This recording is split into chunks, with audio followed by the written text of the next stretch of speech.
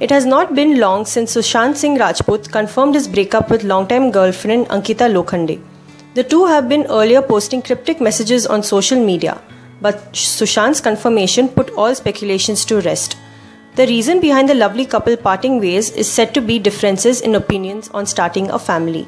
And now it has been said that post his split with Ankita, Sushant is getting along really well with the Rabta co-star Kriti Sanon.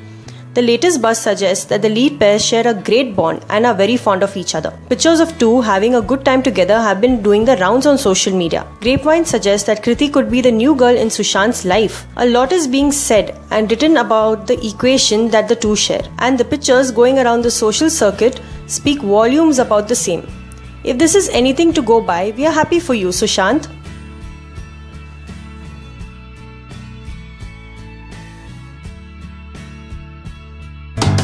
Música